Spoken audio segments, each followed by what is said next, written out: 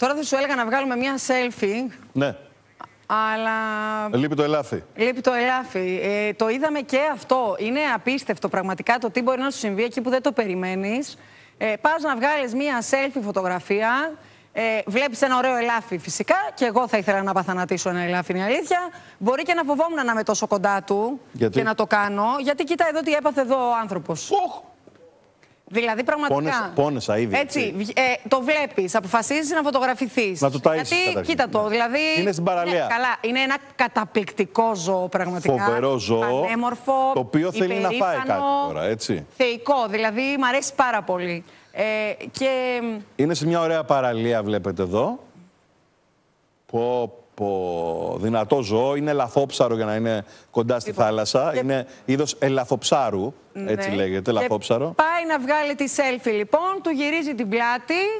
Νευριάζει το λάβι, σου λέει δεν μου γυρίσει και την πλάτη, τέτοια ομορφιά. Γι' αυτό μην γυρνάτε την πλάτη ποτέ όταν να βγάλετε selfie. Λοιπόν, έτσι και ε, εδώ κάνουμε πλάκα. Βέβαια, ο άνθρωπος έχουν σπάσει τα πλευρά του. Τρία πλευρά, έτσι, σπάσε. ε, με Περαστικά τέτοια του. δύναμη την οποία δέχτηκε το χτύπημα. Ο κύριος Γιάννης Πουλόπουλος, ιδρυτής φιλοζωικής οργάνωση ΕΚΠΑΖ. Ε, γεια σας. Ε, επίτιμο μέλος της φιλοζωικής. Με διορθώνω από το κοντρόλ. Καλή σας ημέρα, κύριε Καλημέρα. Πουλόπουλε. Καλή σας μέρα. Επίτιμο μέλος της Ορνηθολογική Εταιρείας. Α, να είστε καλά. Ε, με διορθώνετε, ευχαριστώ. Μην μην πω λάθος τον τίτλο σας. ναι, Η οργάνωσή μας λέγεται Ελληνικό Κέντρο Περίθαλψης Αγρίων Ζώων. Τώρα, ε, κύριε Πουλόπουλε, ε, μ, το βλέπουμε το σκηνικό εκεί. Υπάρχουν και άλλοι λουόμενοι, άλλοι άνθρωποι στην παραλία. Ε, βλέπουμε και ένα παγόνι, το παιδάκια, ελάφι, και παιδάκια. παιδάκια.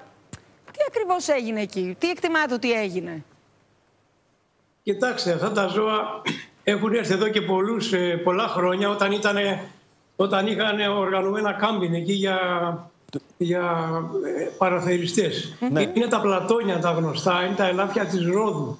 Ναι. Ε, τα οποία ζουν σε, κανονικά σε, διάφορα, σε διάφορους τύπους δασών και κυρίως να έχει και τρεχούμενα νερά. Λοιπόν, Ελεύθερα, τα ζώα στη τα φύση, συγκεκριμένα, ελεύθερα. επειδή έχουν- Ακούτε; Ναι, ναι, είναι βεβαίως, ελεύθερα. βεβαίως. Επειδή, επειδή έχουν γεννηθεί από αρκετές γενιές εκεί και επειδή έρχονται άνθρωποι και τα φωτογραφίζουν, τα βλέπουν, μερικοί τους δίνουν να φάνε λίγο ψωμί, οτιδήποτε, έχουν συνηθίσει, έχουν προσαρμοστεί.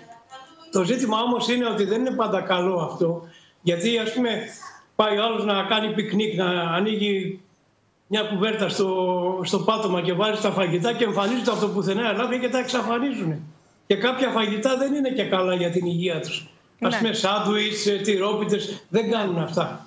Αυτά θέλουν σανό, όπως τα άλογα, χόρτα, Ναι. τρώνε καμιά φορά φλίδες από δέντρα. Τώρα, ε, ε, εκείνο που εκτιμώ είναι, επειδή από ό,τι φαίνεται είναι αρσενικό το ζώο, έτσι, είχε κέρατα, μου είπανε, δεν είδα το, Είναι, είναι, εγώ ναι, τι είναι ναι. το πλάνο. Ναι. Λοιπόν, ε, όλα τα ελαφοειδή και τα πλατόνια και τα υπόλοιπα ζαρκάδια, ελάφια κτλ.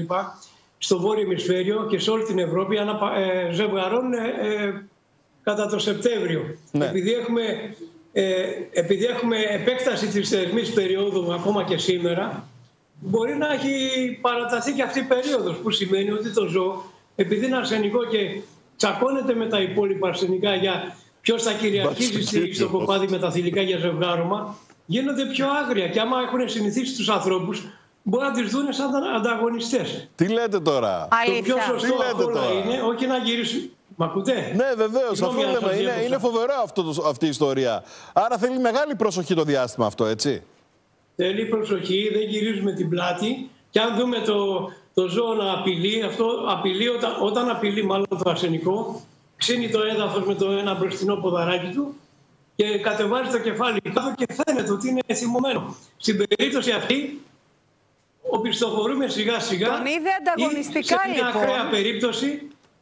Ορίστε. Τον είδε, λέω, Ναι. κύριε Πουλόπουλε, μας λέτε, μπορεί να, το, είδ- να είδε τον άνθρωπο ανταγωνιστικά, επειδή είναι περίοδος ζευγαρώματος και επειδή σε αυτή την περίοδο Ναι, και είναι, επειδή διεκ- καταπάτησε, τη, καταπάτησε την περιοχή διεκδικητές. του. Που, ε, ναι, απ' την άλλη όμως, ε, επειδή δεν είναι ζώα που ζουν υπό φυσικές συνθήκες, είναι ζώα που ζουν κοντά, σ- είναι ημικατοικίδια θα έλεγα, έχουν μάθει να τρώνε από ανθρώπινο χέρι, μπορεί να το πείραξε που δεν το τάισε κιόλας και του γύρισε την πλάτη.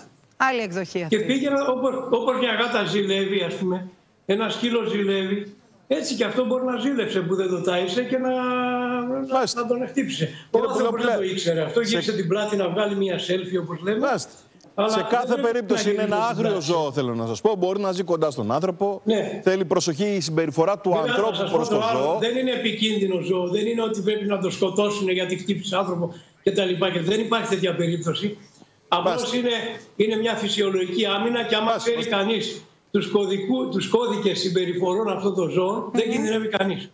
Κύριε Απλά πρέπει να Πουλόπουλε, προσέχουμε. σας- Δεν είναι παιχνίδια τα ζώα. Σωστά. Έτσι, Ε, έτσι. ήδη αποδείχθηκε ότι είναι πιο δυνατό και από τον άνθρωπο, έτσι. Σωστά, δηλαδή, σωστά. Αυτό, Λοιπόν, υπήρχε λόγος κα- για αυτό το ζώο που θύμωσε και τον χτύπησε.